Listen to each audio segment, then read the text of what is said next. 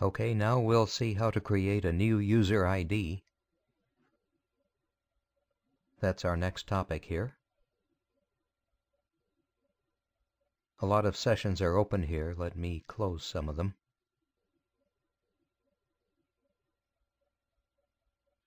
Okay.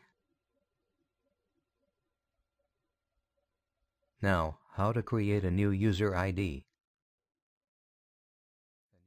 To watch the full video, buy our SAP training videos at www.erptraining9.com.